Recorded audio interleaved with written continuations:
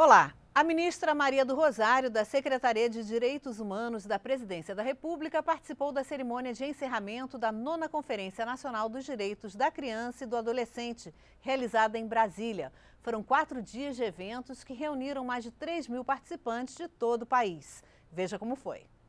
Meus amigos, delegados e delegadas, a nona Conferência dos Direitos da Criança e do Adolescente. Eu quero pedir um minutinho de atenção para vocês, para que juntos possamos dizer a Ivete Sangalo o que nós trabalhamos aqui nestes dias para que os direitos das crianças e adolescentes do Brasil sejam respeitados. Ivete, muito obrigada por você estar aqui. Essa conferência tem representado. Gente, só um pouquinho. Um pouquinho, um pouquinho. Olha só. Vamos, vamos contar um pouquinho para a Ivete as coisas que a gente fez aqui. Olha só. Essa conferência, Ivete, essa conferência Brasil, ela tem representantes de todos os estados brasileiros. Foram escolhidos nos municípios. Entre os representantes estão pessoas que trabalham todos os dias do ano para garantir os direitos das crianças e adolescentes. São professores, professoras, pessoal dos conselhos tutelares, dos conselhos de direitos da criança e do adolescente. E esta conferência teve também uma novidade muito importante. Nesta conferência, as crianças e os adolescentes tiveram vez e voz e falaram aquilo que eles acreditam que deve ser o Brasil.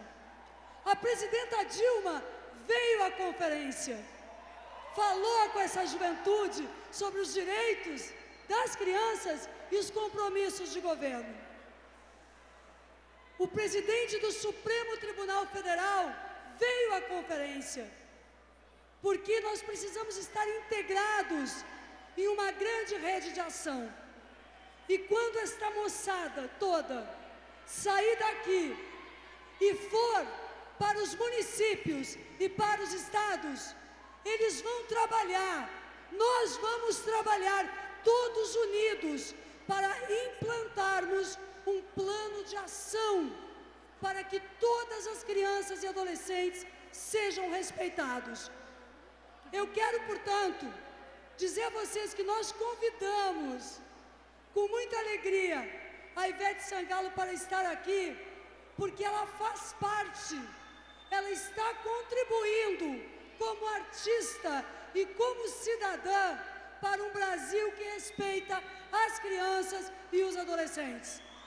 E isto, e agora, nós queremos simbolizar nesta conferência, na qual nós selamos um acordo contra o trabalho infantil, pelo direito da criança não sofrer violência sexual, pelo direito à educação, pelo direito a crescer, pelo direito à família e à comunidade.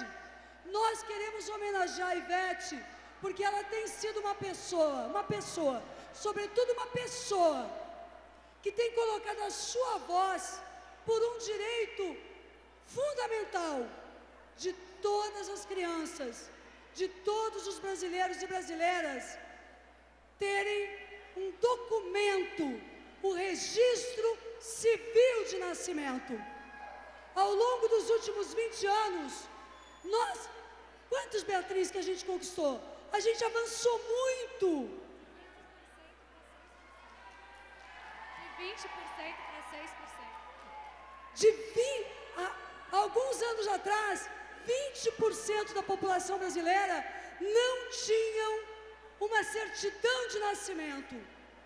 Agora, nós temos ainda, mas veja como, como conquistamos esse direito.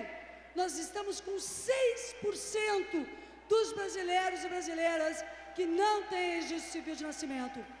Mas nós queremos que todas as crianças e adolescentes tenham seu documento, seu registro civil de nascimento.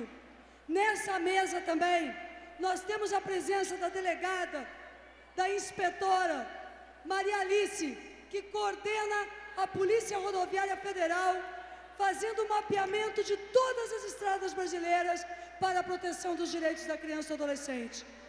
Eu quero cumprimentar a inspetora Maria Alice, abraçar Ivete Sangalo e pedir que a gente possa entregar a Ivete a homenagem que nós preparamos para ela. Primeiro nós vamos ver um vídeo, o Bruno me ajude. A gente vai ver um vídeo que Ivete fez mobilizando o Brasil e falando do direito ao registro civil. E depois a gente vai fazer essa homenagem a ela para agradecer através dela todos os artistas brasileiros que a consciência de que são grandes artistas, porque o povo tem um grande amor a eles. E assim como nós que governamos esse Brasil, olhando para o povo e sabendo de que devemos cumprir as nossas responsabilidades, Ivete Sangalo é uma artista, amiga da criança e que hoje recebe a nossa homenagem. Muito obrigada. Eu sou mais um brasileiro, com registro civil, tenho os meus direitos desde o nascimento. Eu também tô nessa corrente que tem que seguir em frente. O país inteiro está com a gente. Certidão é de graça, é um direito humano. O seu filho ter orgulho de ser brasileiro. A certidão é de graça, é um direito humano. Procure na maternidade, no cartório mais próximo ou informe-se na prefeitura sobre os mutirões. Faça certidão ainda na maternidade. Seu filho ter seus documentos, ter nome e sobrenome, os seus direitos e se registrar.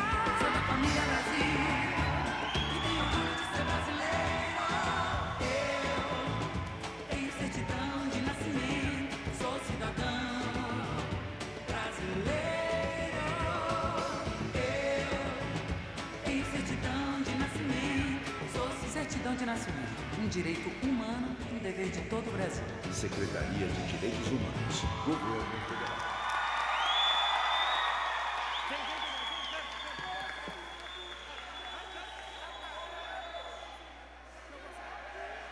Quando a chuva passar, quando o tempo abrir, abra a janela e veja eu sou sol. Eu sou céu e mar, eu sou céu, enfim. E o meu amor é imensidão. Oh, oh, oh, oh. Esse foi o Daniel, nosso adolescente representando o G27, vindo lá de Santa Catarina.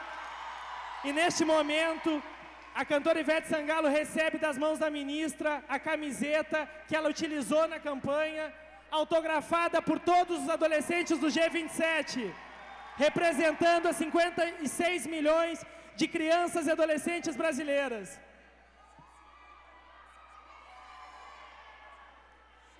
E nesse momento convidamos a fazer uso da palavra a cantora Ivete Sangalo. Boa tarde a todos.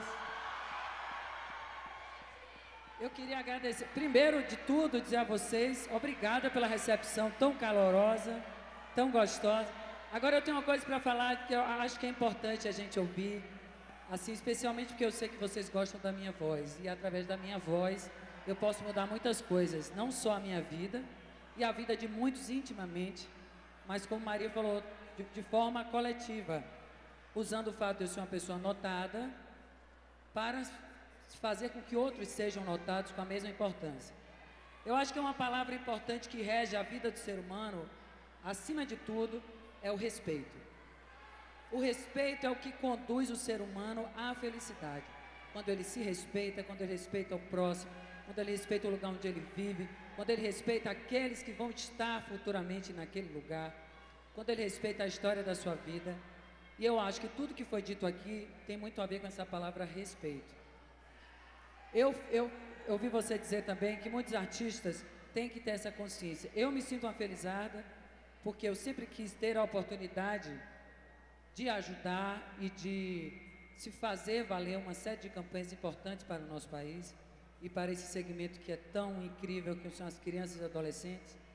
Mas eu eu fui trazida por um caminho maravilhoso. Você me convidou, me deu a oportunidade de poder ser útil. Eu acho que essa oportunidade tem que ser dada a outros artistas também. De, é, eu disse a ela, se você não me convocar, eu lhe denuncio para o 100. E eu acho que muitos artistas, não são poucos, muitos desse país, que é um país de gente muito bacana, e a gente quando se encontra, conversa, muitos artistas querem ter a oportunidade de ajudar. Muitos não sabem como, ou às vezes ajudam de forma miúda ou de forma equivocada. Mas eu quero dizer a vocês o seguinte, que toda criança, todo adolescente, todo ser humano, ele precisa ser respeitado. Porque a ele foi dada uma oportunidade de viver, e essa oportunidade quem dá não somos nós, é Deus. E a gente precisa respeitar a vontade de Deus.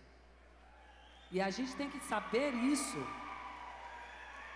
Eu tenho um filho pequeno, e eu rezo todos os dias para que nenhum mal aconteça a ele. Mas hoje eu rezo para todos os filhos de todas as mulheres, sejam aquelas biológicas ou não, mulheres que abraçam seus filhos biológicos, seus filhos de outras mulheres que não puderam criar, vós, tias, amigas, vizinhas e os homens que são parceiros dessas mulheres. O que eu quero dizer a vocês é: sejamos todos delegados e delegadas dessa causa tão linda, tão importante, que é proteger a criança sem ver a quem ou é parente ou não é parente, é vizinho, é amigo, está na rua. É, eu tenho uma amiga do meu coração que me ensinou muitas coisas sobre isso, sobre essas atitudes, que é Xuxa, que é uma mulher engajadíssima nas questões das crianças, é uma mulher que luta diariamente, eu sou testemunha disso, me convoca diariamente. E a gente precisa alertar para isso. Não há um futuro promissor quando não há amor, quando não há respeito. Então, eu disse a Maria, eu falei, me chame, me use da forma mais legal que vocês puderem. Eu estou aqui disponível e carente de poder ajudar. Muito obrigada pela homenagem. E viva as crianças e os adolescentes desse país. É um país rico, vitorioso e tem, acima de tudo, amor no coração, que é o que a gente mais precisa. Obrigada a todos. Adorei minha camisa, adorei a homenagem, viu, Dani? Deixa eu ver. Vou pegar, peraí. Acelera é, o coração.